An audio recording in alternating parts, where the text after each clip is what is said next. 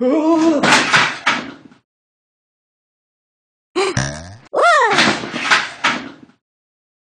today's news is us.